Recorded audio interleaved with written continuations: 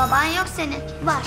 Adı da Demir Göktürk. Ένα παιδί που ορίμασε απότομα. Yok ya. Kızın falan değil bu. Bu değilim ben. Adım var benim Öykü. για να μπορεί να προφυλάξει όσους αγαπά. Annen bilmiyor galiba insanları dolandırdığını. Bana bak. Tamam sustum.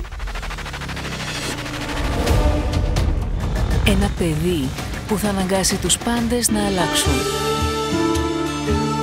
Η κόρη μου. Αύριο στις 6 και 10 το απόγευμα. Στον Sky.